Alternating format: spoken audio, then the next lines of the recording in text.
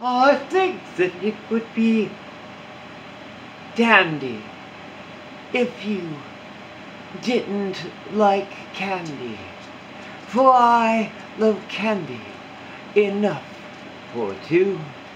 And if I were a Republican, I'd want to screw someone just like you.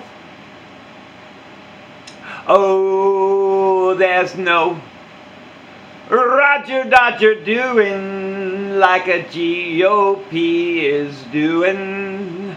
You can get something and run it up your pole and they will make it to the hole in one. Where's that lady and where is the data, Mr. President?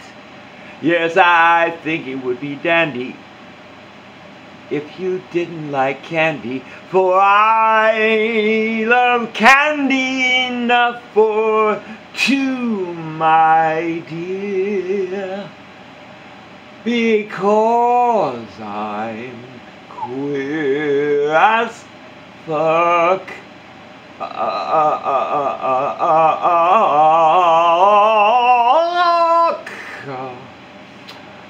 so I don't know where this is going. I don't know where this is going. I don't know where this is going, but it's ending up right here.